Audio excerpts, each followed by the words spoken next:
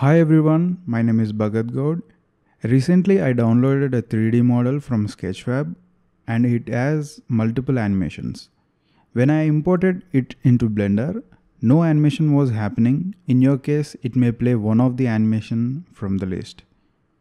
To view multiple animations in Blender, go to your timeline. In the top left corner, change it to dope sheet.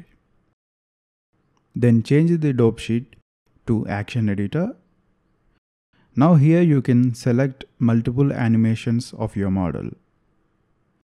Here the animation is ending right away, but we want to loop it like we saw in the Sketchfab. For that, all you have to do is press Shift plus E and make cyclic. It will start looping your animated keyframes.